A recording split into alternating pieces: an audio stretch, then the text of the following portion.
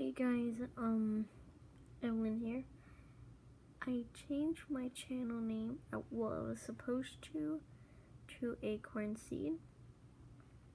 And I did it because it recently said, um, it, it changed to recently. I have to wait 90 days. I already waited for a while since like two months ago. Still need to wait a long time.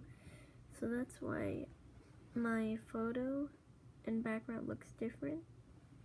Just in case you ask, because it's gonna be it's gonna be awkward for the background to say acorn seed. That's all I want to say. Bye guys.